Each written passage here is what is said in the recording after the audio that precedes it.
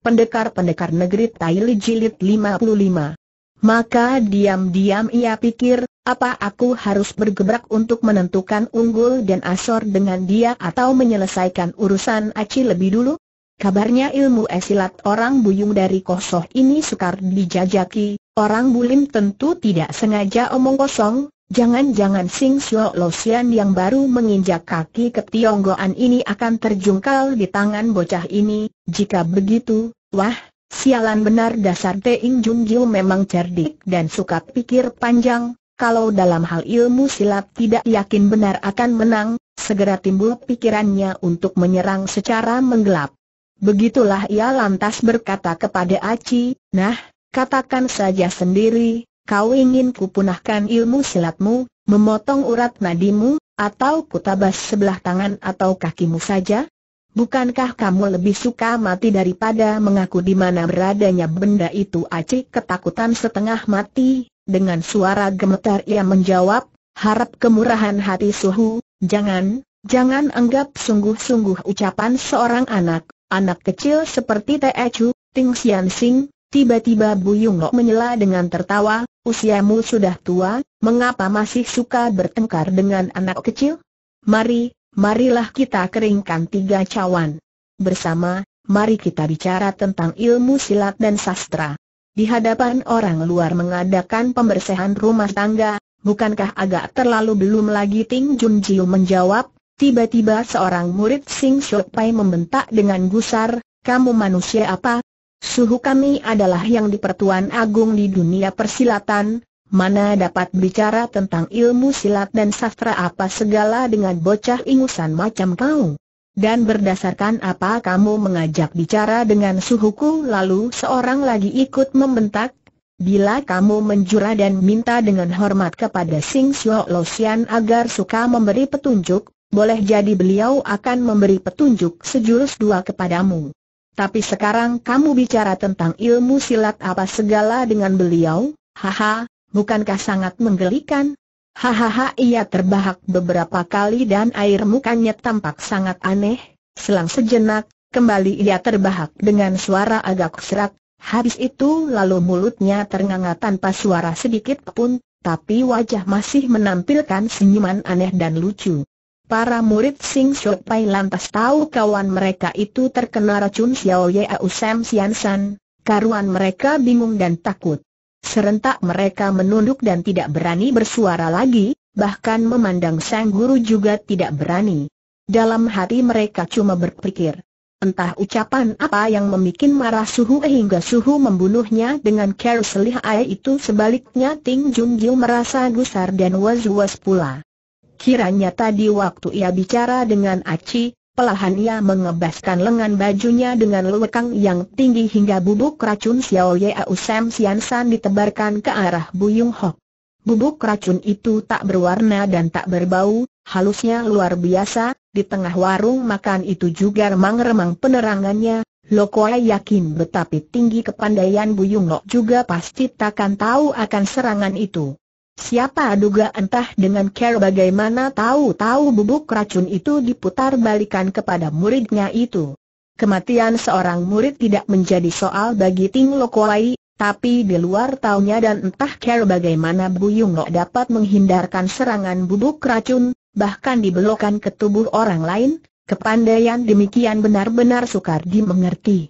Dengan pengalaman Ting Jun Jiu yang luas juga seketika tidak paham ilmu apakah yang dipakai Bu Yung Hok, hanya teringat olehnya istilah terkenal Lih Picitu, Hoan Si Pisin dari keluarga Bu Yung di Kosoh itu. Terang care yang digunakan adalah dengan care lawan untuk menyerang kembali lawan. Tapi bubuk racun itu sangat halus, masakah tanpa tersentuh lantas dapat dihamburkan kembali? Apalagi kalau memang betul sesuai istilah itu seharusnya serangan kembali itu mesti diarahkan padanya, mengapa muridnya yang menjadi korban? Hektometer tentu bocah ini merasa jeri juga kepadaku, maka tidak berani sembarangan pegang-pegang kumis harimau.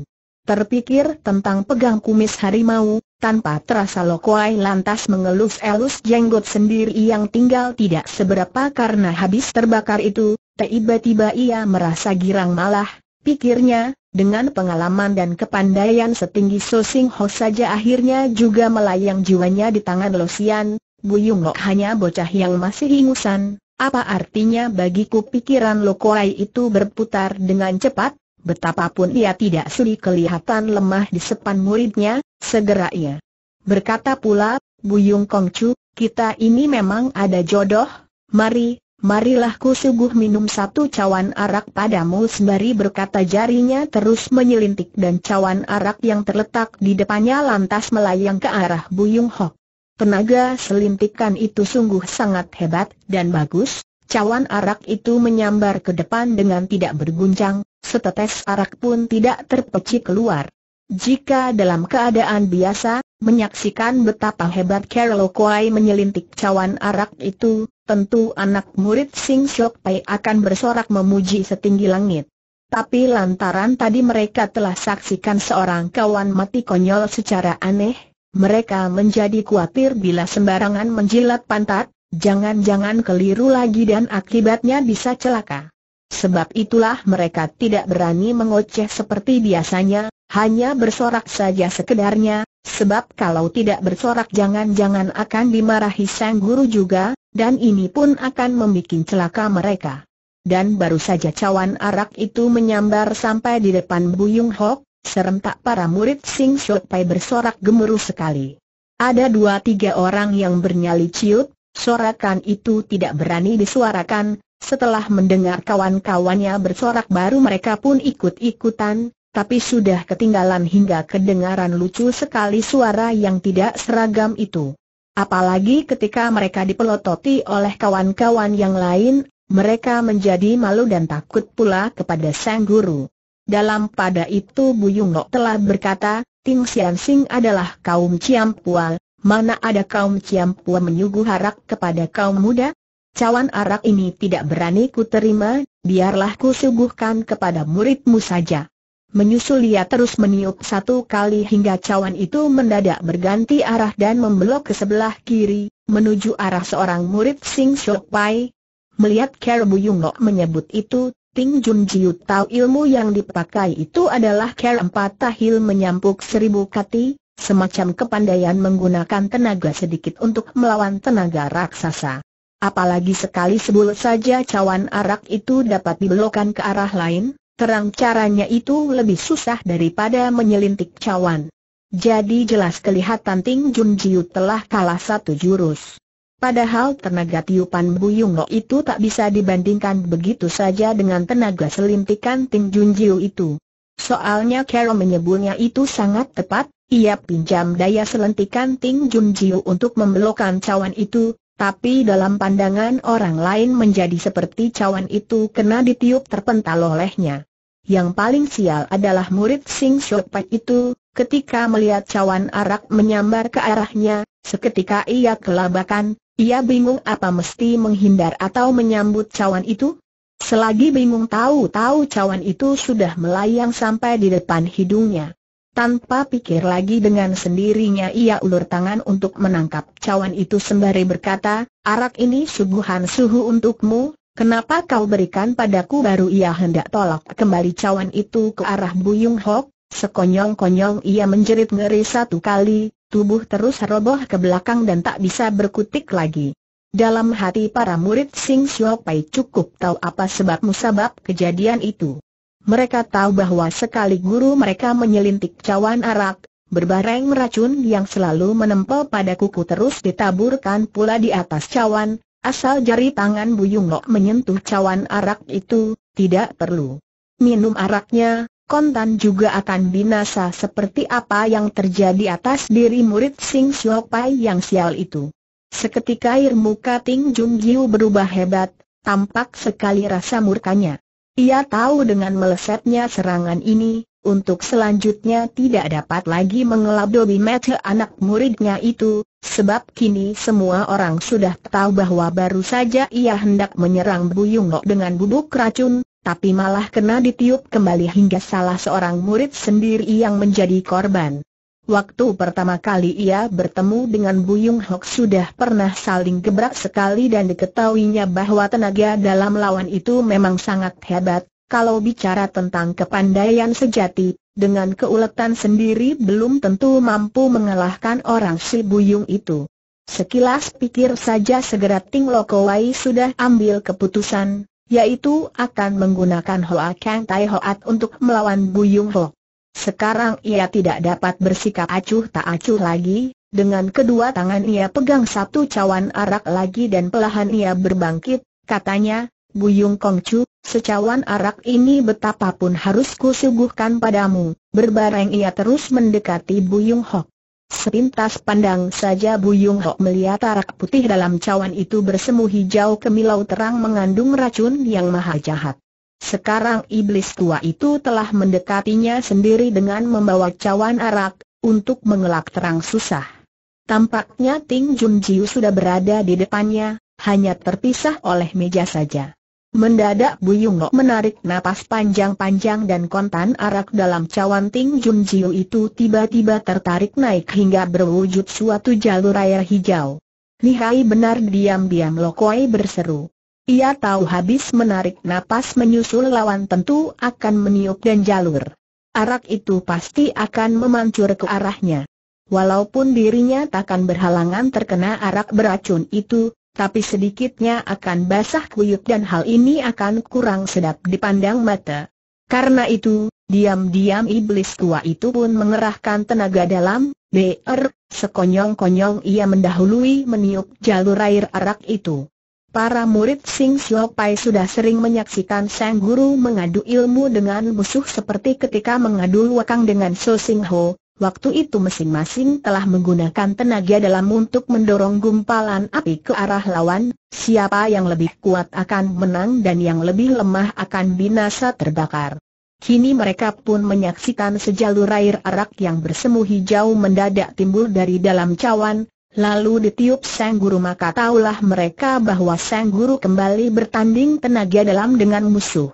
Pikiran mereka lanras bekerja, semuanya ingin memeras otak untuk mendapatkan kata-kata pujian gaya baru yang tepat untuk menyanjung puji kepandaian Seng Suhu yang maha sakti itu. Tak terduga bahwa tiupan Ting Jun Jiu yang keras itu sama sekali tak dilawan oleh Buyung Hok, sehingga jalur arak itu mancur lurus ke mukanya. Karuan para murid Sing Pai merasa heran, sama sekali tak terduga oleh mereka bahwa sang guru akan menang dengan care begitu gampang. Di sebelah sana Aci sebenarnya sedang girang karena gurunya menemukan lawan tangguh, ia pikir akan ada kesempatan untuk meloloskan diri.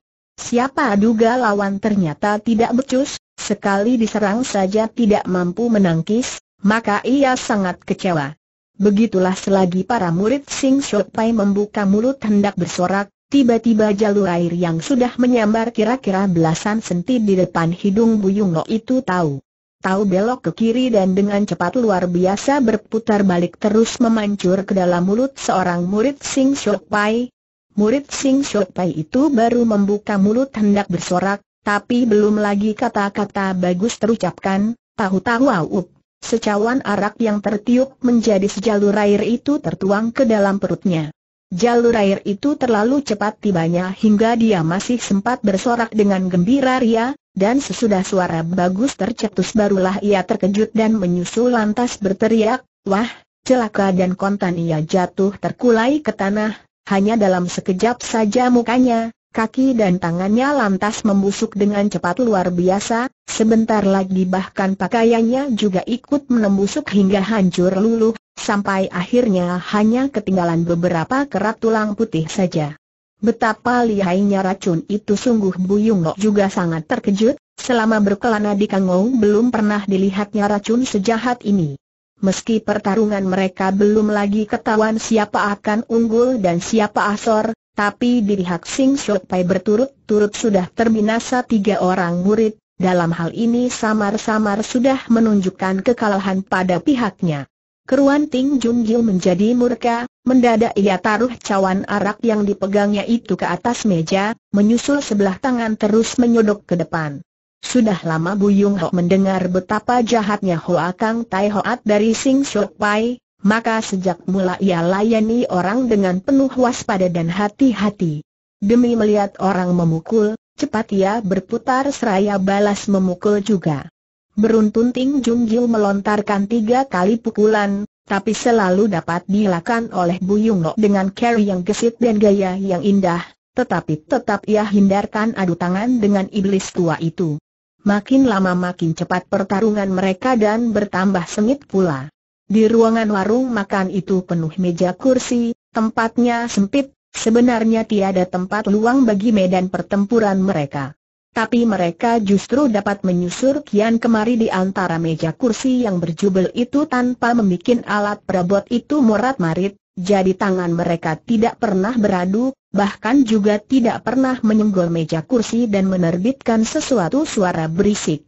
Dalam keadaan begitu, Para murid Sing Pai tetap berdiri mepet dinding ruangan itu, tiada seorang pun berani keluar warung makan itu, sebab mereka cukup kenal watak sang guru, jika ada murid yang berani menyingkir agak jauh tatkala gurunya sedang bertempur sengit dengan musuh, maka itu berarti menunjukkan ketidakteguhan jiwanya dan tidak setia kepada perguruan dan bukan mustahil nanti akan dijatuhi hukuman berat. Sebab itulah biarpun semua orang tahu keadaan sangat berbahaya, asal tersampuk angin pukulan sang guru saja mungkin jiwa mereka bisa melayang, tapi mereka toh tidak berani sembarangan bergerak, mereka hanya berdiri semetek mungkin ke tepi dinding, jalan lain tidak ada. Sementara itu kelihatan Buyung Hok lebih banyak bertahan daripada balas menyerang, meski ilmu pukulannya sangat bagus dan aneh pula, tapi karena tidak berani beradu tangan dengan Teing Jun Jiu, maka gerak-geriknya menjadi terikat dan terdesak di bawah angin. Sebaliknya Sing Shok Lokowai sudah banyak menghadapi lawan tangguh pengalamannya sangat luas, dalam waktu singkat saja segera ia tahu bahwa Bu Yung Ho tidak ingin mengadu tangan dengan dirinya, itu menandakan lawan jari kepada Hoa Kang Tai Hoatnya. Dan kalau lawan keder terhadap ilmu andalannya itu, dengan sendirinya ilmu inilah yang harus dilancarkan untuk mengalahkan lawan. Cuma saja, gerakan Buyung Ho teramat cepat dan gesit, ilmu pukulannya juga banyak perubahannya dan tak menentu arah tujuannya, untuk memaksanya mengadu tangan dengan dirinya juga tidak gampang. Sesudah bergebrak beberapa jurus lagi, akhirnya Ting Junjiu mendapat suatu akal, sengaja ia mendesak dengan telapak tangan kanan, memukul dan bertahan selalu menggunakan tangan kanan saja, sebaliknya tangan kiri pura-pura agak kaku, kurang leluasa bergerak, ia berlagak sengaja hendak menutupi ciri-ciri kelemahan itu agar Buyung Hok tidak mengetahuinya. Namun Buyung Hok adalah seorang ahli, seorang sarjana ilmu silat, sedikit saja musuh menunjuk kelemahannya segera dapat dilihatnya. Mendadak ia miringkan tubuh dengan setengah putar terus menghantam dua kali susul menyusul dengan kekuatan penuh mengarah iga kiri Teing Jun Jiu. Sudah tentu kesempatan itu tidak disia-siakan Lokoai, ia pura-pura bersuara ngek tertahan sambil mundur setindak dan tidak berani menangkis dengan tangan kiri. Maka diam-diam Buyung menduga bagian dada kiri atau iga kiri iblis tua itu tentu menderita luka dalam sehingga tidak berani menangkis serangannya. Ia mendapat hati, kembali ia hantam ke sebelah kanan, tapi yang diincar sebenarnya sebelah kiri. Setelah bergebrak belasan jurus lagi, tiba-tiba tangan kiri Ting Jun Jiu ditarik dan disembunyikan dalam lengan baju, Sebaliknya tangan kanan terus membalik ke atas dan mencakar muka Buyung Hok. Dengan sendirinya Buyung Hok miringkan tubuh dan putar ke samping, berbareng ia pun menjotos iga kiri lawan. Selama ini yang ditunggu-tunggu Ting Lokoi justru adalah pukulan Buyung Hok ini dan sekarang lawan benar-benar berlaku seperti apa yang diharapkannya, keruan girang Lokoi. Tak terkatakan. Maka terdengarlah angin berkesyur, lengan baju berkibar, tiba-tiba Ting Lokoai mengebaskan lengan baju kiri untuk membelit tangan Buyung Hok itu. Diam-diam Buyung Hok membatin, biarpun lengan bajumu lebih lihai sepuluh kali lipat juga tidak nanti dapat melukai aku karena itu ia tidak menarik kembali kepalanya, hanya tenaga dalamnya dikerahkan dan membiarkan tangan digulung oleh lengan baju musuh. Brad tiba-tiba terdengar suara kain robek, Tahu-tahu lengan baju kanan Buyung Hok sendiri tersobek satu bagian oleh sambaran angin lengan baju Ting Jun Jiu itu hingga kelihatan kulit badannya yang putih bersih, pada lengannya juga lantas terdapat satu jalur merah. Kiranya angin kebasan lengan baju Lokoai itu memang luar biasa kerasnya, seperti pisau tajamnya lengan Buyung Hok tergores satu jalur. Coba kalau sebelumnya ia tidak mengerahkan tenaga dalam, tentu lengannya sudah patah. Namun begitu jotosan Buyung Hok itu tetap diteruskan dengan sekuat-kuatnya. Tapi ia terkejut ketika mendadak kepalan terasa terjepit oleh Ting Jun Jiu, yaitu tangan kiri yang disembunyikan dalam lengan bajunya tadi. Sudah tentu kejadian ini sama sekali di luar dugaan Buyung Hok, segera ia pun sadar, wah, celaka. Iblis tua ini pura-pura lemah di sebelah kiri, Tak taunya cuma tipu muslihatnya untuk memancing aku, sekali aku benar-benar masuk perangkapnya tapi ia pun tahu bila segera ia membetot tangannya, maka racun Ting Lokoai itu pun akan terus ikut menyusup dan merembes ke dalam badan bersama dengan tenaga dalam yang ditarik kembali itu, untuk mana pasti akan berbahaya bagi jiwanya.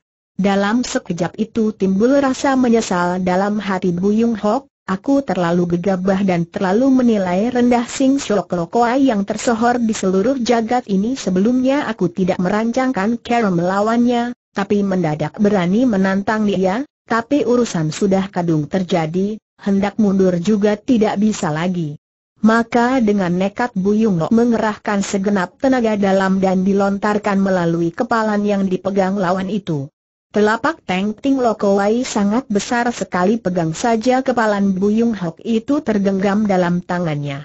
Tapi karena reaksi lawan yang teramat cepat itu hingga mau tak mau tubuhnya tergetar hebat turat-turat nadi serasa hendak putus, lengan kiri pun terasa kesemutan, hampir saja pegangannya terlepas. Tatkala Ting Lokoai menggunakan Hoa Kang Tai Hoat badannya harus bersentuhan dengan badan lawan jika sekali gentak cekalannya kena dipentalkan tenaga lawan maka ilmu pemunah tenaga itu pun tiada manfaatnya lagi.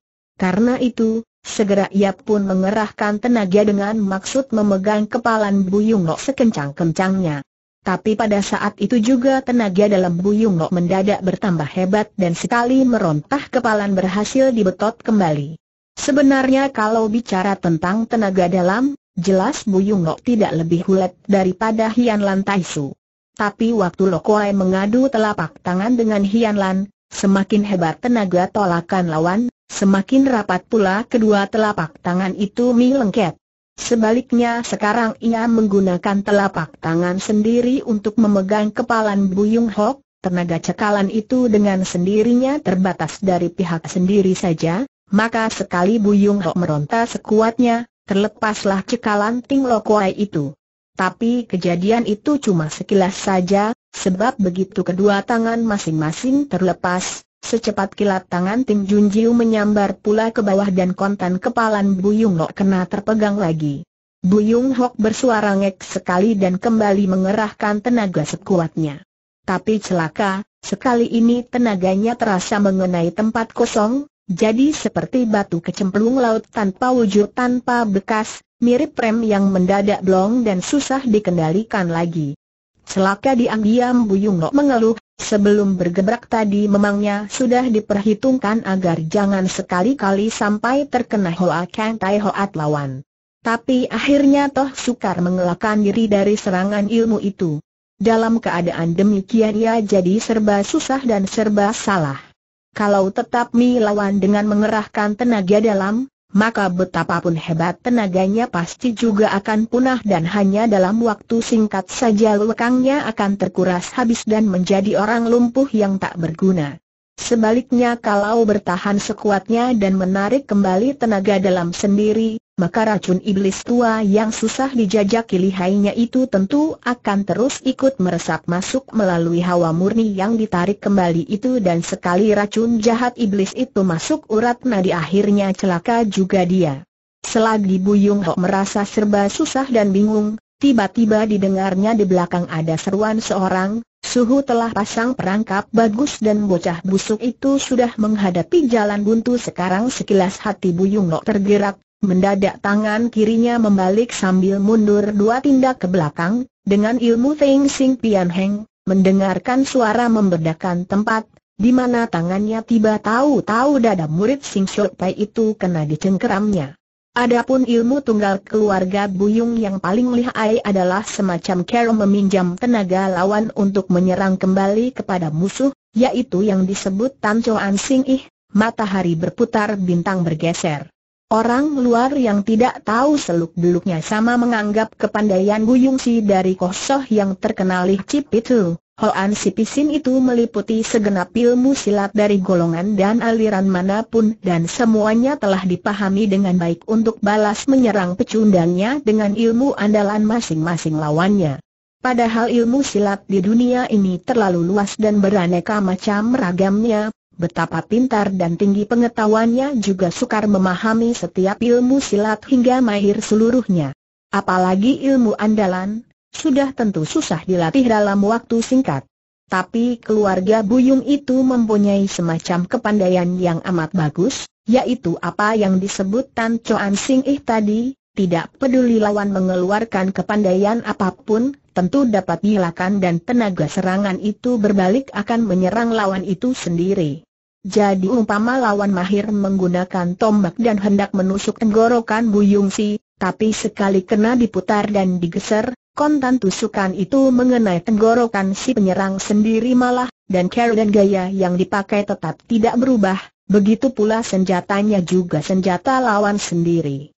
Karena itulah bila tidak menyaksikan dengan mata kepala sendiri akan kepandaian Tan Choan Sin Ih keluarga Buyung itu, tentu tiada seorang pun yang dapat membayangkan kematian Seng korban sebenarnya adalah membunuh diri, dan semakin lihai ilmu pukulan lawannya, cara matinya juga semakin hebat. Namun kalau tidak bertempur satu lawan satu dan tidak yakin pasti akan dapat membinasakan lawan, maka ilmu Te Ancoan Sin Ih itu pun tidak sembarangan dikeluarkan. Lantaran itulah nama Kosoh Buyung lantas mengguncangkan dunia Kangou, sebaliknya di mana letak kunci kepandaian keluarga Buyung itu juga tiada seorang pun yang tahu dengan jelas. Kera memutar balik pukulan atas senjata lawan untuk menyerang lawan sendiri soalnya terletak pada tenaga pentalan saja. Misalnya kita menjutos dinding, semakin keras kita memukul semakin keras pula daya pental kembali dan sama saja seperti kita memukul diri sendiri dengan tenaga sekeras itu. Untuk memutar balikan pukulan atau senjata lawan yang berwujud itu jelas lebih gampang, sebaliknya sangat sulit untuk menggeser kembali tenaga dalam pihak musuh yang tak berwujud itu.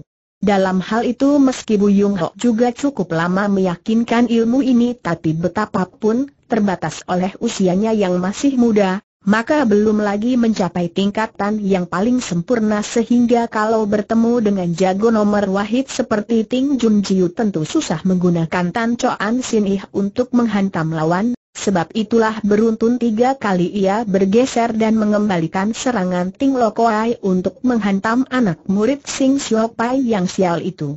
Jadi tetap dia geser dan dia putar balikan serangan itu, cuma saja tidak kepada lawan itu sendiri, melainkan kepada pihak ketiga. Kalau pertama kali dengan gampang saja Buyung Hok mendapatkan ganti korbannya atas serangan bubuk racun Ting Lokoai, tapi sekarang menghadapi Hoa Kang Tai Hoat, sebenarnya Buyung Hok tidak mampu menggeser dan memutar balik, kebetulan ada murid Sing Pai yang buru. Buru ingin cari muka dan bersorak memuji, karena itu letak tempatnya lantas diketahui Buyung Hok. Saat itu Buyung Hok sudah kepepet, dalam gugupnya tanpa pikir lagi ia cengkeram murid Sing Pai itu dan segera diputar balik sebagai gantinya.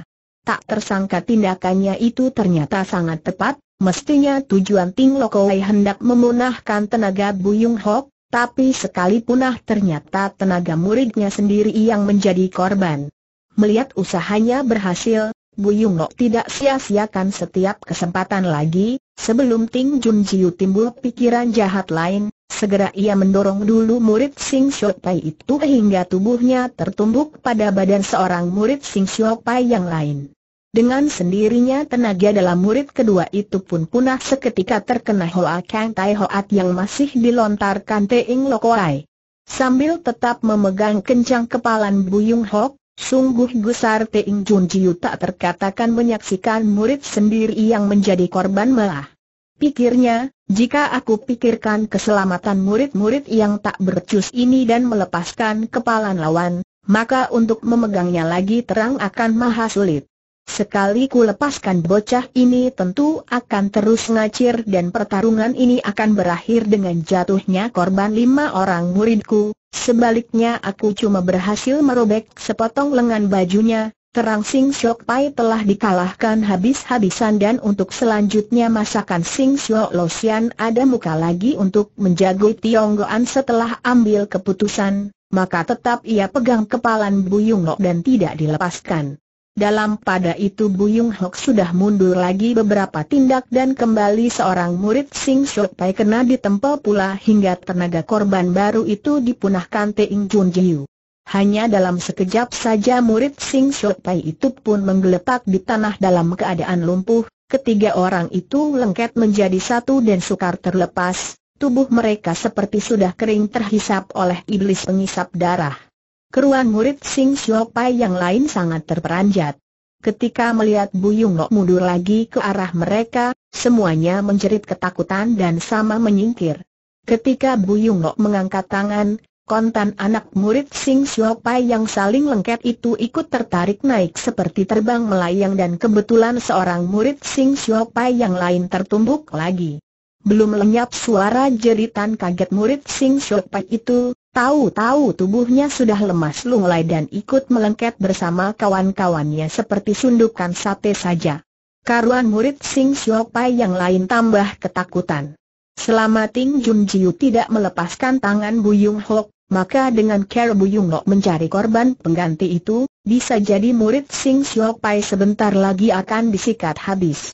Biasanya anak murid Sing Siok Pai itu pandai mengumpak dan mahir menjilat pantat, tapi sekarang mereka menjadi ketakutan setengah mati, siapa tahu kalau berikutnya ia pun akan melengket seperti Suheng atau Sutenya yang sudah lemas itu. Biar pun ketakutan toh tiada seorang pun berani lari keluar pintu, mereka terpaksa hanya menyingkir ke sini dan menghindar ke sana dalam ruang makan itu. Dan sudah tentu ruang makan itu terlalu sempit bagi mereka, di mana tangan Buyung Nok bergerak dalam sekejap kembali ada empat lima orang kena tersedot dan melengket pula. Dengan senjata raksasa itu, dengan sendirinya Buyung Nok menjadi lebih gampang lagi mencari korbannya. Dalam keadaan demikian jelas sekali Buyung Hok telah memperoleh kemenangan total. Tapi hal ini tidak berarti dia sendiri tidak berkhawatir. Sebab, meski anak murid Sing Shok Pai itu cukup banyak, tapi pada akhirnya tentu juga akan habis. Dan bila anak murid Sing Shok Pai telah dimakan semua, lalu care bagaimana dia akan melepaskan diri. Begitulah, maka berulang-ulang Buyung Nok main lompat dan mengerahkan tenaga dengan maksud melepaskan tangannya dari pegangan Ting Lokoai. Di lain pihak Ting Jun Jiu menyaksikan anak muridnya satu per satu melengket seperti sundukan sate di sebelah tangan Buyung Nok yang lain. Sedang murid-murid yang lain sama berlarian menghindarkan diri dengan ketakutan sehingga tiada seorang pun yang ingat memberi sorak puji kepada sang guru. Gusar dan malu juga Ting Lokoai, ia jadi lebih kencang pula memegang tangan Buyung Hok. Pikirnya, murid yang tidak becus ini biarkan saja mampus semua. Asalkan aku dapat memunahkan tenaga Buyung Hok, maka akan berkumandanglah cerita tentang Kosoh Buyung dikalahkan Sing Shok Losian, maka ia tetap tenang saja, sedikit pun tidak kelihatan marah, sebaliknya tersenyum-senyum malah.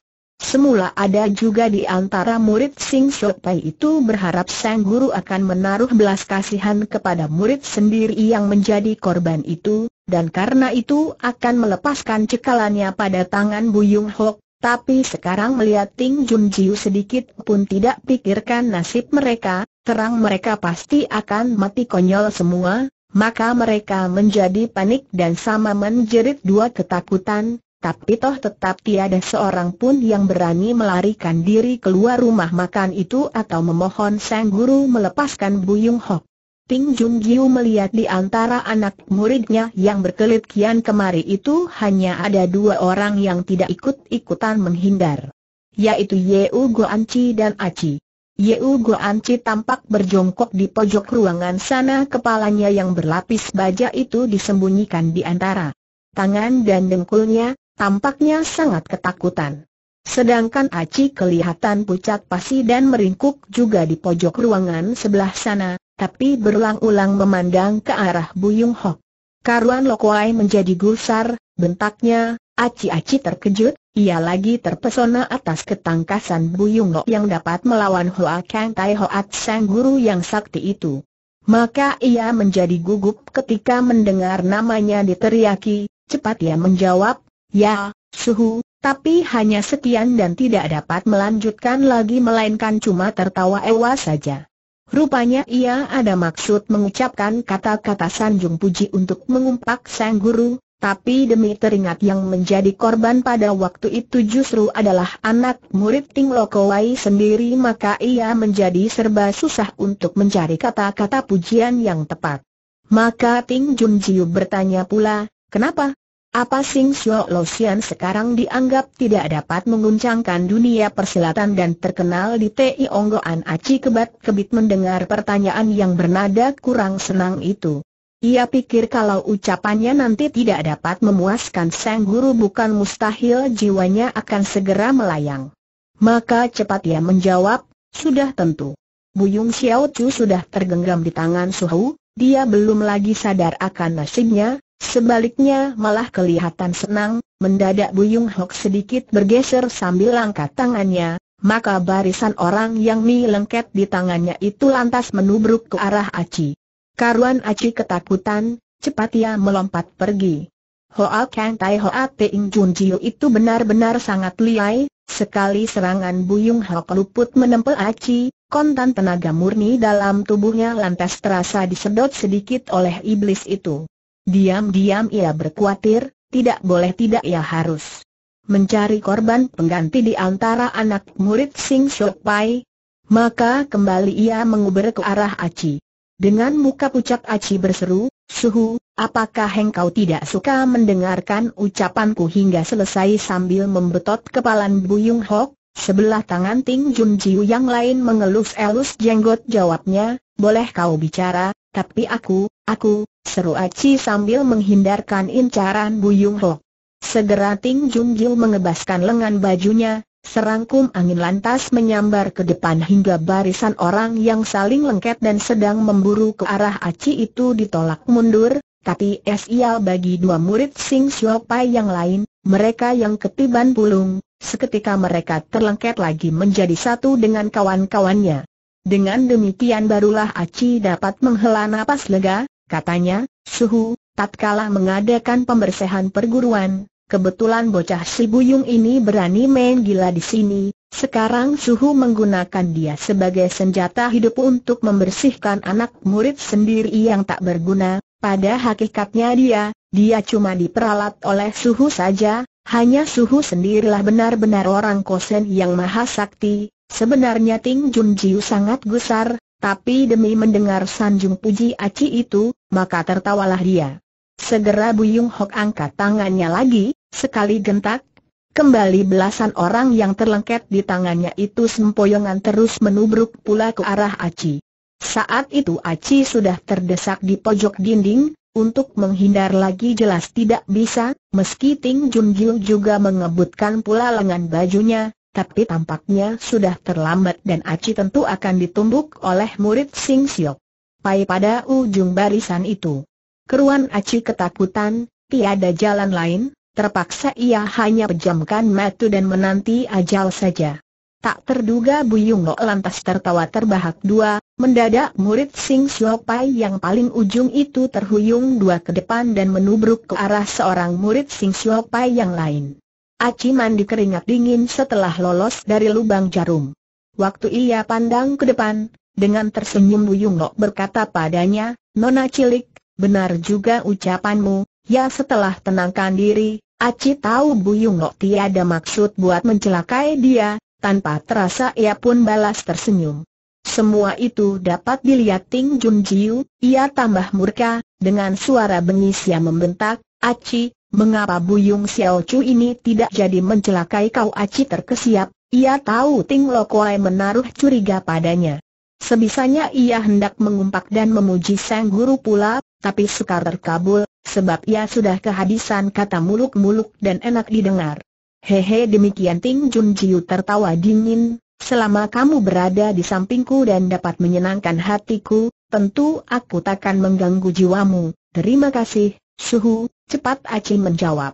Kamu jangan terburu-buru sebang dulu, ini, mendadak Lokoai mengebaskan lengan bajunya ke muka Aci. Saking cepatnya tindakan Ting Lokoai itu sehingga sebelum Aci sadar apa yang terjadi, tahu-tahu kedua matanya terasa nyes, lalu kesakitan luar biasa dan pandangannya menjadi gelap pula, pipi lantas berlinang dua titik cairan seperti air mati meleleh. Nyata Ting Jun Jiu telah mengerahkan tenaga dalamnya pada ujung lengan bajunya dan secepat kilat menyabat buta kedua mata Aci. Tatkala melihat lengan baju Ting Jun Jiu bergerak lagi memangnya Buyung Hok sudah menduga iblis itu pasti tidak bermaksud baik. Walaupun ia tahu Aci adalah murid Sing Xiao Pai juga tapi anak darah itu cantik menyenangkan dan berbeda dengan saudara-saudara seperguruannya yang lain, maka diam-diam Buyung juga sangat sayang padanya. Dan selagi ia hendak menolong namun serangan Ting Jun Jiu itu terlalu cepat sehingga tidak keburu dicegah lagi. Sekarang melihat Aci tetap berdiri bersandar dinding dari kedua matanya meneteskan dua titik darah yang mirip air mata. Biarpun Buyung Lok sudah banyak menyaksikan perbuatan orang kejam juga belum pernah melihat Ker, Ting Jun Jiu yang begitu keji, jiwa anak muridnya sedikit pun tidak berharga bagi iblis itu, untuk sedetik Buyung Lok tertegun juga dan karena itu tenaga murninya kembali tersedot sedikit pula. Sesudah membutakan kedua mata Aci, lalu berkatalah Ting Lokoai, aku tetap membiarkanmu hidup tapi tidak boleh lagi nih lihat sesuatu agar kamu tidak punya pikiran menyeleweng terhadap perguruan. Nah, kau terima tidak hukuman ini tapi wajah Aci sudah pucat lesi, bibir agak gemetar dan susah membuka suara lagi.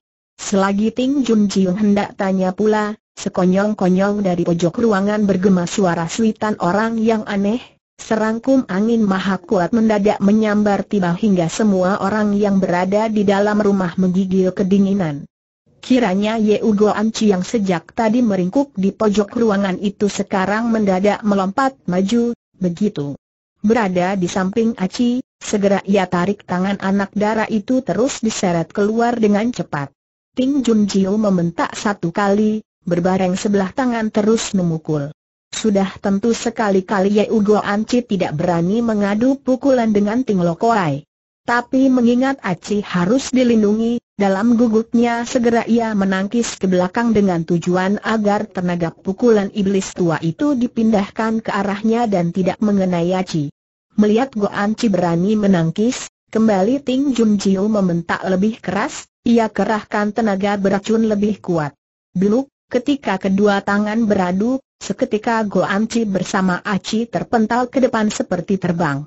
Begitu keras mereka terpental ke depan, tampaknya pasti akan menumbuk dinding, tiba-tiba tangan Go Anci menolak ke depan, belang, tahu-tahu dinding itu ambrol menjadi sebuah lubang, sebaliknya Teing Jun Jiu tergentak mundur dua tiga tindak, ia merasa dada dirangsang hawa dingin, tenaga yang dikerahkan tadi hilang sirna tanpa bekas. Kesempatan itu dipergunakan Buyung Lok dengan baik. Tatkala Ting Jun Jiu mengadu tangan dengan Ye Ugo Anci berbareng ia pun mengerahkan tenaga dan mengipatkan tangan sehingga cekalan Ting Lokoi tergentak lepas. Cepat ia lompat mundur pula, Malahan sebelah tangannya yang menggandeng barisan anak murid Sing Pai yang lengket satu itu terus diputar pula dan satu per satu disodok ke depan untuk menumbuk Ting Jun Jiu. Sesudah mengadu tangan dengan Go Anci tadi, Ting Jun Jiu merasa tenaga dalamnya merembes keluar dengan sangat cepat, maka segera ia berjungkir dengan kaki di atas dan kepala di bawah terus berputar-putar beberapa kali, ia gunakan ilmu menguatkan tenaga dari perguruannya untuk menahan merembes keluarnya tenaga dalam. Pada saat itulah belasan anak muridnya yang tadi melengket di tangan Buyung Lok itu menubruk ke arahnya, sedangkan Ting Lokowai sendiri sedang berputar dengan menjungkir, sudah tentu ia tidak dapat menghindar atau menggunakan tangan atau kakinya untuk menangkis, maka terdengarlah suara belang-belung beberapa kali, anak murid Sing Pai itu berturut-turut menubruk badan Ting Lokowai, tapi satu per satu lantas terpental pula dan terbanting jatuh ke tanah, ada yang patah kaki dan tangan, ada yang pecah kepalanya dan binasa. Sungguh gusar Ting Jun Jiu bukan buatan. Sekali membentak segera ia berdiri tegak kembali. Mukanya tampak pucat, tapi beringas menakutkan anak muridnya telah mati sebagian besar, sebaliknya Buyung Ho yang tadi sudah terpegang olehnya sedikit pun tidak terganggu, malahan Yeu Goan Chi sempat menggondolari Aci, kekalahan Sing Sio Losian yang memalukan ini bukankah akan dibuat bahan ajakan di dunia persilatan?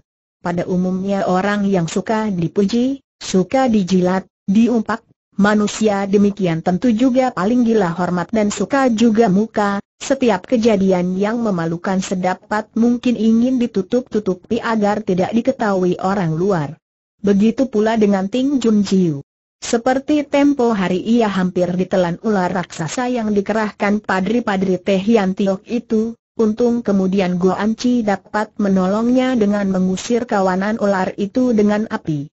Tapi sebagai balas terima kasih iblis itu sengaja suruh Goan Chi memeriksa pernapasan Padri Tian Tiok yang sudah binasa keracunan itu agar Goan Chi juga ikut mati, tujuannya tak lain agar Goan Chi juga terbunuh, sehingga kejadian yang memalukan baginya itu tidak tersiar. Coba kalau Goan Chi tidak kebetulan memiliki racun dingin nulat sutra putih yang dapat mengatasi segala macam racun lain, tentu sudah lama jiwa Goan Chi melayang. Sekarang Ting Jun Gilmi lihat Bu Yung Lok masih berdiri di situ sambil memandang mayat yang bergelimpangan di tanah itu dengan senyuman mengejek, ia tahu bila Bu Yung Hok sampai lolos dengan selamat, maka nama kebesaran Sing Sio Losian niscaya akan merosot habis-habisan. Karena itulah, sambil melototi Bu Yung Lok dengan gusar, diam-diam ia tebarkan tiga jenis bubuk racun yang maha jahat dengan tenaga dalam yang tak kelihatan. Sisa anak murid Sing Pai yang beruntung tidak mampus itu masih ada tujuh atau delapan orang. Melihat wajah sang guru mengunjuk rasa gusar tak terhingga, kembali mereka obrol sanjung puji lagi. Betapapun Sing Xiao Losian memang maha sakti. Nah, Buyung Xiao Chu, apakah kamu tidak ingin lekas lari? Apa kau cari mampus? Ya, jika kamu tidak lekas ngacir, naga-naganya keluarga Buyung kalian pasti akan putus keturunan. Eh, Buyung Hok, tidak lekas lari dengan mencawat ekor, mau tunggu apa lagi begitulah karena merasa pertarungan ini lebih banyak memalukan Sing Pai mereka, maka mereka ganti haluan dengan mencaci maki Buyung Hok untuk menaikkan gengsi guru mereka. Harapan mereka adalah Buyung Hok akan lekas pergi dari situ. Sebab kalau Buyung Hok tidak lekas pergi bila sebentar kena dipegang Ting Lokwai lagi maka yang celaka bukanlah orang si Buyung, melainkan mereka sendiri yang akan menjadi korban lagi. Namun Buyung Hok hanya tersenyum-senyum saja dan tidak menggubris caci maki mereka. Berulang tiga kali Ting Junjil menghamburkan bubuk racun ke arahnya, tapi tanpa bicara apa-apa ia tolak kembali bubuk racun itu ke badan anak murid Sing Pai, maka terdengarlah suara gedebukan di sana-sini, siapa yang bersuara memaki musuh, kontan terima ganjarannya dengan mati menggeletak. Keruan mereka ketakutan dan tidak berani memaki lagi, ingin memuji sang guru pun sudah kehabisan kata-kata mulut. Terpaksa mereka cuma berdiri terkesima di situ. Melihat murid-muridnya bungkam, Ting Jun Jiu bertambah marah, ia terkekeh aneh dan berkata, Buyung Hok, belum ketahuan siapa unggul dan asor, kenapa berhenti selagi Buyung Nok hendak menjawab, sekonyong-konyong dilihatnya di sebelah sana ada sebuah meja bisa mumbul ke atas. Meja kursi dalam ruang makan itu sebenarnya sudah morat maret tak karuan, hanya meja yang terletak di pojok itulah yang tidak terganggu. Kini mendadak meja itu bisa mumbul ke atas tanpa sebab, Hal benar-benar aneh luar biasa sehingga menarik perhatian semua orang. Tapi ketika diperhatikan, Bu Yung lantas tertawa geli. Kiranya di bawah meja itu terdapat satu orang. Boleh jadi orang itu sangat ketakutan dan sembunyi di kolong meja, sekarang ia berdiri, tapi lupa merangkak keluar dulu dari kolong meja, maka meja itu ikut tersundul ke atas. Dan sesudah berdiri tegak, Orang di bawah meja itu tampak memejamkan mata, tangan terangkap di depan dada, badan masih gemetar, kedengaran sedang berdoa. Kiranya dia adalah Hai Tio Hwasyo. Ting Jun Jiu semakin murka karena di situ selain Bu Yung Lo ternyata masih ada seorang lagi. Ia membentak, keledai gundul, sejak kapan kau sembunyi di situ tadi sebenarnya Hai Tio ingin mengeluyur pergi, tapi ia ketakutan oleh pertarungan sengit itu, maka buru-buru ia sembunyi di kolong meja. Sebagai murid Buddha yang belas asih, ia tidak tega menyaksikan pembunuhan besar-besaran dalam pertempuran itu.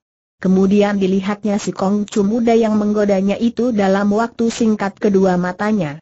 Telah dibutakan, ia tambah takut dan gemetar, berulang ia memanjatkan doa. Dan ketika mendengar Ting Jun Jiung hendak bergebrak pula dengan Buyung Hok, Segera ia berdiri dari tempat sembunyinya hendak mencegah. Tapi dalam gugupnya ia lupa di atas kepalanya masih tersunggih sebuah meja. Waktu ia dibentak Ting Jun Jiu barulah ia sadar bisa celaka, dengan muka pucat dan badan gemetar ia menjawab. Aku, aku sudah lama berada di sini. Ka, kalian jangan berkelahi lagi, tiba-tiba Ting Jun Jiu sedikit mengebas lengan bajunya, Serangkum angin yang lembut tapi tajam menyambar ke arah Hai Tiok. Diam-diam Buyung Lok gegetun, ia menduga Hwasyo itu tentu akan celaka, ia hendak menolong, tapi terlambat. Dengan cepat Iga Hai Tiok kena disambar tenaga kebasan Ting Jun Jiu itu hingga badan sedikit tergeliat, tapi tidak terganggu apa-apa. Waktu ia berpaling dan melihat muka Ting Lokoi yang beringas menyeramkan itu, ia menjadi takut, Sambil masih menyunggih meja ia terus menerjang keluar. Kembali Teing Jun Gil melontarkan pukulan lagi perak, meja yang disunggih Hai Tiok itu pecah berantakan menjadi berkeping-keping. Sebaliknya Hai Tiok tetap tidak apa-apa dan masih berlari secepatnya ke depan. Berhenti bentak Ting Jun. Sudah tentu Hai Tiok tidak mau menurut, bahkan berlari lebih cepat. Seorang murid Sing Shot Pai mendadak mencegatnya dari samping, Kelima jarinya yang tajam bagai kait terus mencengkeram pundak Hai Tiok sambil membentak, Sing Sio Losian menyuruhmu kembali, kamu berani, belum habis ucapannya, mendadak ia merasa pundak Hitiok yang dicengkeramnya itu mengeluarkan tenaga pentalan. Yang maha kuat, kontan tubuhnya mencelat sendiri ke belakang dan secara kebetulan menumbuk ke arah Ting Jun Jiu. Tapi dengan mudah Ting Jun Jiu dapat mencengkeram kuduk muridnya yang sial itu, dalam hati ia pikir, Hwasyo ini agak aneh, tapi tidak nanti ia dapat terbang ke langit, lain kali tentu dapat kutemukan lagi, sekarang lebih penting harus kuhadapi Buyung Hok saja, dengan pikiran ini, segera murid sendiri yang dicengkeramnya itu dilemparkan ke arah Buyung Hok. Melihat murid Sing Pai yang dicengkeram Ting Jun Jiu itu mukanya pucat bagai mayat, Matt meneteskan darah pula, terang orangnya sudah mati keracunan, sekarang iblis tua itu melemparkan ke arahnya, sudah tentu tidak mengandung maksud baik. Maka Buyung Hok sudah siap, ia tidak bergerak, hanya tangan sedikit ditolak ke depan hingga suatu tenaga maha kuat menyambar ke depan, Seketika mayat murid Sing Pai itu kena ditahan di tengah jalan. Karena kedua pihak sama-sama mengerahkan tenaga dalam yang kuat, maka mayat murid Sing Pai itu tergencet dan terkatung-katung di tengah udara, pemandangan demikian menjadi sangat aneh dan lucu sekali. Sekonyong-konyong Ting Jun Jiu membentak lagi. Krak-krak, tahu-tahu kedua tangan murid Sing Pai yang sudah tak bernyawa itu putus sebatas pergelangan tangan, dan kedua tangan yang sudah putus itu terus mencakar ke muka Buyung Hok. Buyung Hok tidak berani gegabah, cepat ia meniupkan hawa dua kali sehingga kedua potong tangan yang putus itu berputar balik dan saling tepuk sekali di udara, Lu, lalu terpental ke samping dan kebetulan mengenai badan dua murid Sing Pai yang lain. Seketika kedua murid Sing Siok Pai itu tertawa terkakak-kakak seperti orang gila, tertawa mereka semakin keras dan semakin geli sehingga menungging memegang perut sendiri, tapi sejenak kemudian mendadak suara tertawa mereka berhenti serentak, namun tetap berdiri sambil pegang perut sendiri, badan kaku bagai mayat, nyata mereka pun sudah binasa. Beberapa kali Ting Jun Jiu menggunakan Hoa Kang Tai Hoat, tapi bukannya Buyung Ho kena dirobohkan, sebaliknya anak murid sendiri yang jatuh menjadi koban. Keruan ia tambah murka, tiba-tiba ia tertawa dingin sekali, lengan baju yang lebar itu menyambar ke samping, tubuhnya juga ikut berputar, karena itu mayat murid Sing Siok Pai yang putus kedua tangan itu lantas jatuh ke tanah. Tapi Buyung Lo lantas bergerak juga, secepat terbang ia lompat keluar rumah makan itu. Lari ke mana bentak Teing Jun Jiu, berbareng ia memburu keluar. Sisa beberapa orang murid Sing Siok yang masih hidup sebisanya masih bersorak memberi pujian kepada kesaktian Ting Jun Jiu, tapi rangkaian kata-kata mereka itu terasa sangat dipaksakan, sehingga bagi Ting Lokoi kedengarannya lebih dirasakan sebagai sindiran malah. Sampai di luar, Lokoi melihat Buyung Hok sudah berdiri di tempat sejauh belasan meter, Sikapnya tenang-tenang saja dengan wajah bersenyum. Xiao Chu, jangan lari bentak Teing Jun Jiu dengan gusar. Bilakah aku lari jawab Bu Yung Lok mengejek. Selagi Ting Jun Jiu siap hendak menubruk maju, tiba-tiba tertampak seorang mendatang dengan cepat, orang itu berjalan dengan kepala menunduk, malahan kedengaran sedang berkumat kami tentah berguman apa. Dari jauh Buyung Hok sudah dapat mengenali pemuda ganteng yang datang ini bukan lain adalah Toan Ki. Anehnya Toan Ki jalan dengan menunduk seperti tidak menghiraukan segala apa di sekitarnya dan entah apa yang sedang dipikirkan, tapi terus menyeruduk ke arah Ting Jun Jiu.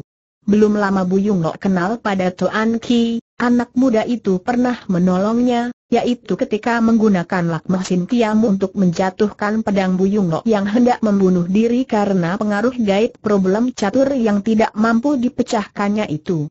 Lantaran itulah Buyung Lok mempunyai kesan baik terhadap Toan Ki.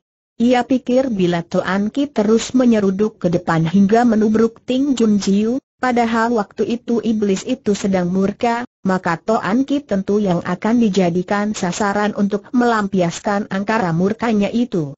Tampaknya saat itu sedikit pun Toan Ki tidak merasakan segala apa pun di sekitarnya, kalau tidak lekas memperingatkan dia tentu anak muda itu akan dimakan mentah oleh Ting Jun Jiu.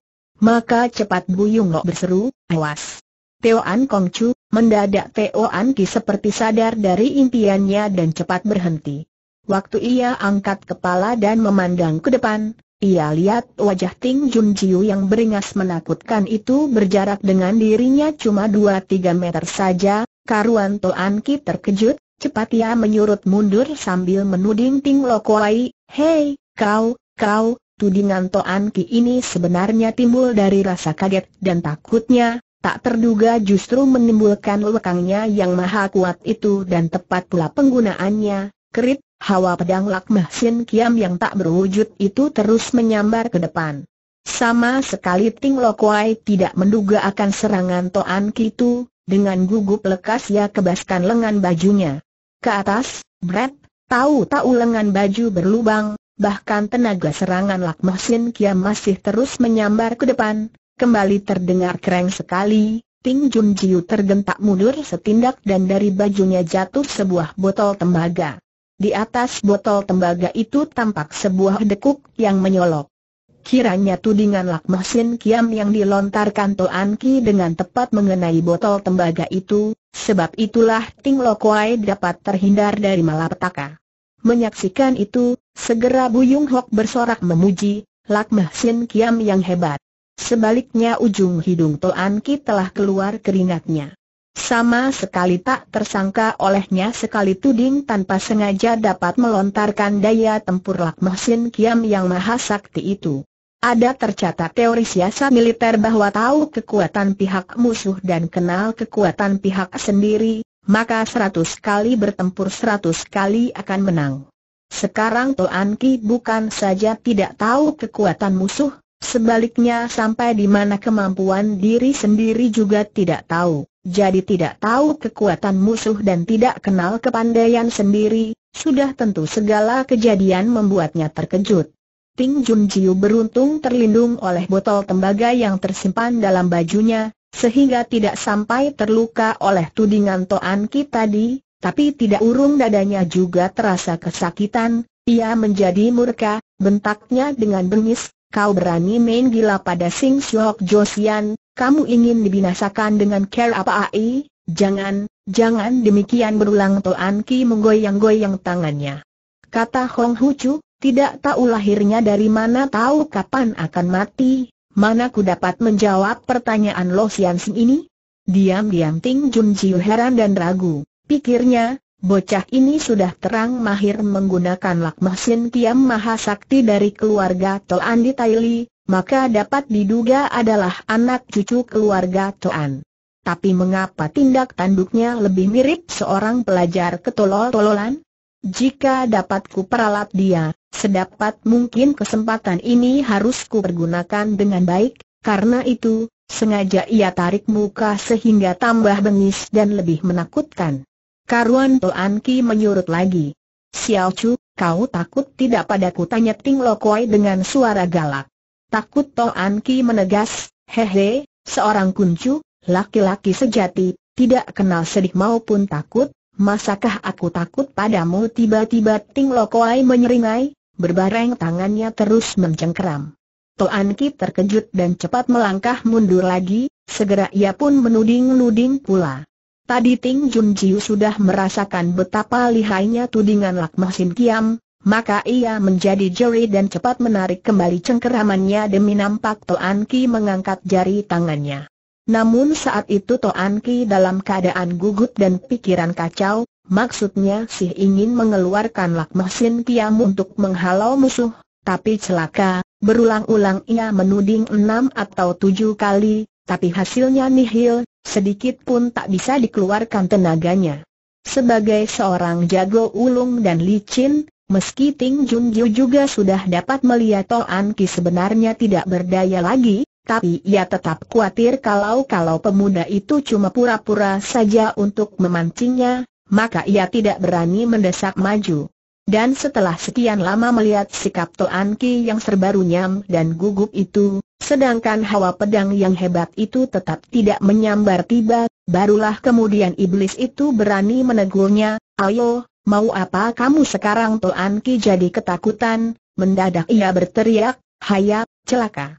Kalau tidak lekas angkat kaki, mungkin mati pun tak terkubur lagi berbareng ia terus putar tubuh dan melarikan diri dengan cepat.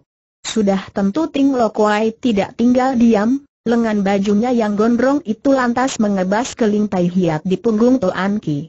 Sementara itu Buyung Nok masih berdiri di samping, ia sangat kagum ketika sekali muncul Toan Ki lantas dapat mengalahkan Ting Jun Jiu dengan Lak Mesin Kiam yang lihai, sudah lama ia kenal nama Lak Mesin Kiam, konon ilmu itu sudah lama lenyap dari dunia persilatan, maka selama ini ia sangat menyesal tidak dapat membuktikan betapa hebatnya ilmu pedang tanpa wujud itu. Tak terduga sekarang ia dapat menyaksikan dengan jelas, sudah tentu ia sangat senang. Ia sangka menyusul Toan Ki tentu akan melancarkan serangan lain yang lebih hebat, siapa tahu pemuda itu cuma main tuding saja tanpa membawa hasil apa-apa, lalu putar tubuh dan angkat langkah seribu alias kabur. Diam-diam Buyung Nok ragu apakah mungkin Toan Ki sengaja hendak menggoda Teing Jun Jiu? Tapi iblis tua itu toh bukan tokoh sembarangan kalau gegabah bukan mustahil akan dimakan olehnya. Namun apa yang terjadi selanjutnya membuat Buyung Nok terkejut, ketika lengan baju Ting Jun Jiu mengebas ke punggung Toan Ki yang mematikan, sebaliknya pemuda itu sama sekali tidak tahu cara menghindarkannya, Diam-diam Buyung Nok berteriak, celaka cepat ia bertindak dan menghantam Iga Ting Jun Jiu. Segera Ting Jun Jiu membaliki tangan kiri untuk memapak, sedang ujung lengan baju kanan yang mengebas itu tidak menjadi berkurang kekuatannya.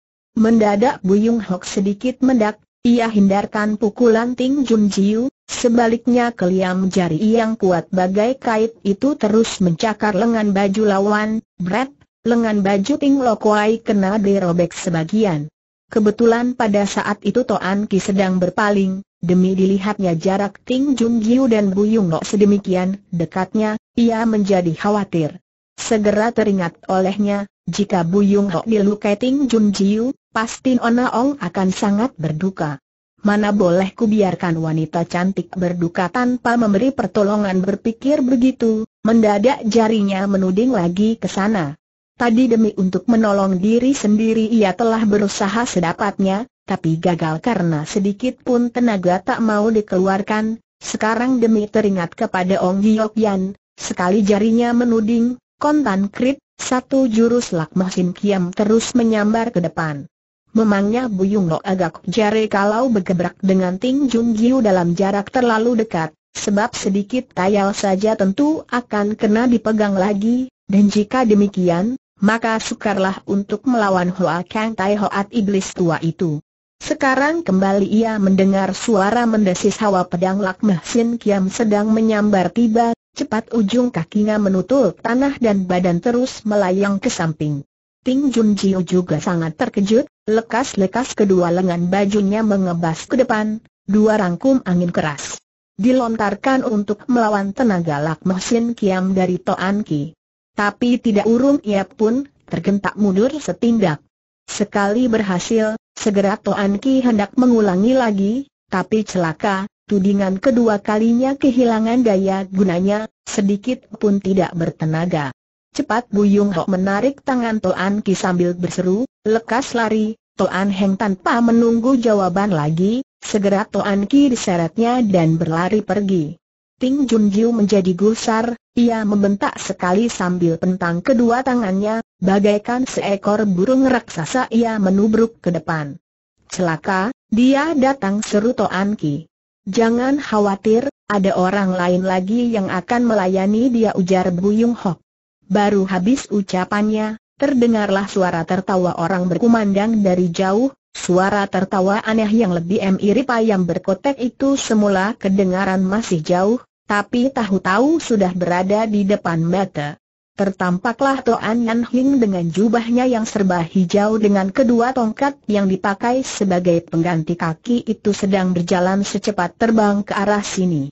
Melihat si jahat yang lebih takaran, Oke Koan Bo Aneng, Toan Yan Hing, Toan Ki menjadi ketakutan dan cepat berpaling ke arah lain. Bu Yung Lo memberi Kiong Jiu kepada Ye An Hing Ai Chu dan menyapa, Toan Sian Sing, iblis tua itu sudah telan pil pahit di tanganku, sekarang biarlah kau beri juga sedikit hajaran padanya, tapi hati-hati, betapapun dia masih cukup lihai sembari berkata, berbareng ia terus menarik Toan Ki dan diajak lari ke sana. Kedatangan Ting Jun Jiu ke daerah Tionggoan ini adalah ingin pamer kepandaian untuk menaikkan pamornya, siapa tahu berulang-ulang malah kecundang, anak muridnya gugur sebagian besar, bahkan diri sendiri juga tidak pernah memperoleh kemenangan, keruan bencinya kepada Buyung Lo merasuk tulang sumsum, maka demi nampak lawan itu hendak kabur, segera ia menubruk maju. Tapi mendadak sebelah tongkat Toan Yan Hing melintang di depannya, katanya dengan nada dingin, Sing Shok Lo Kuai, jangan lari. Pada waktu orang lain sedang terancam bahaya, kamu sengaja main sergap malah, untuk itu kita harus bikin perhitungan dahulu, karena dirintangi Toan Yan Hing untuk mengejar Buyung Hok terang sukar. Sebagai seorang yang licin, segera Lo Kuai ganti haluan, ia terbahak dua dan menjawab, Toan Yan Hing, Hidupmu ini sudah sulit kembali ke jalan yang benar lagi, tapi kalau bicara tentang ilmu kepandaian golongan siapa sebenarnya kau pun belum masuk hitungan, maka ada lebih baik kamu menyembah dan angkat aku sebagai gurumu saja, untuk ini mungkin aku akan dapat mengabulkan keinginanmu. Toan Yan Hin masih tetap menghadang di tengah jalan dengan tongkat melintang, selesai Ting Jun Jiu bicara, Mendadak dari dalam perutnya mengeluarkan suara kuk yang aneh, yaitu suara tertawa yang mirip ayam berkotek. Berbareng sebelah tongkatnya terus menutup ke perut Ting. Mendadak Ting Junjiu menyelintik sehingga jari tengahnya tepat menyentik ujung tongkat lawan. Mestinya tongkat bambu Yan Hing Taichu itu hijau segar, tapi sekali kena diselintik jari Ting Lokuai, segera ujung tongkat bambu itu terdapat setitik warna merah, bahkan dengan cepat sekali titik merah itu memanjang ke atas tongkat. Waktu Yan Hing tarik kembali tongkatnya dan hendak melancarkan serangan jurus kedua, Sekilas dilihatnya pada ujung tongkat sendiri ada jalur merah yang terus menjalar ke atas dan tampaknya segera akan sampai pada tangannya. Ia kaget bila teringat kemahiran Ting Lokuai dalam hal menggunakan racun, cepat ia gentak sekali hingga tongkat itu terlempar ke depan. Tapi Toan Yan Hing juga bukan tokoh sembilarangan, Walaupun terpaksa ia harus melemparkan tongkatnya, tapi ketika tongkat terlepas dari cekalannya ia pun menggunakan tenaga yang istimewa. Maka waktu tongkat itu terpegang oleh Ting Jun Jiu, mendadak terdengar suara krak-krok dua tiga kali, tahu-tahu tongkat itu patah menjadi beberapa bagian, tongkat yang patah itu bahkan berhamburan ke atas kepala Ting Lokoai. Coba kalau iblis itu tidak cepat putar lengan bajunya untuk mengebas, tentu ia pun akan terluka oleh tongkat bambu yang patah itu. Di sebelah sana Bu Yunglok dan Toan Ki juga sedang mengikuti pertarungan itu dari jauh. Ketika melihat Toan Yan Hing terpaksa melepaskan sebelah tongkatnya, dengan khawatir Toan Ki berkata, sialan.